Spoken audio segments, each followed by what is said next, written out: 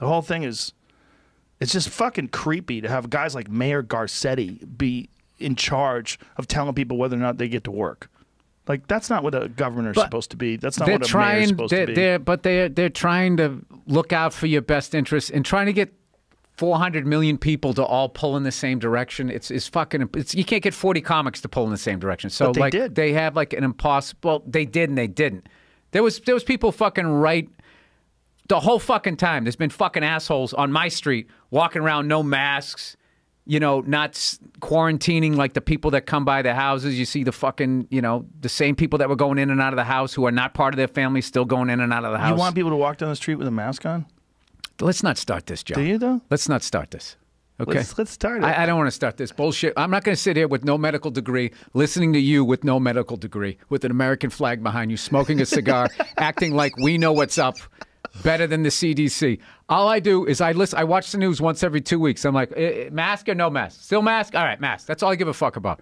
I don't care. but even they say you shouldn't wear a mask unless you're treating a coronavirus patient. The World Health Organization. Yeah, but they didn't say that initially. They didn't say it initially. No, they didn't. They did, and then it gradually, then it gra- they- and then wait, wait, wait, and then everybody wore the fucking masks. This is like rollerblading. Everybody fucking rollerbladed, and then there was that one fucking homophobic joke, and then everybody acted like they never did it.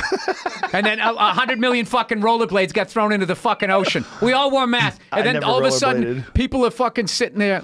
What? You don't have the body type for it, dude.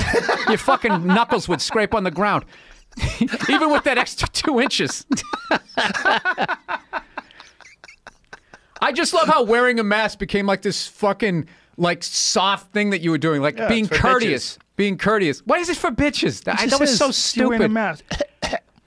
First of all, Oh not- God, you're so tough with your fucking open nose and throat. Gee, Joe, and your five o'clock shadow.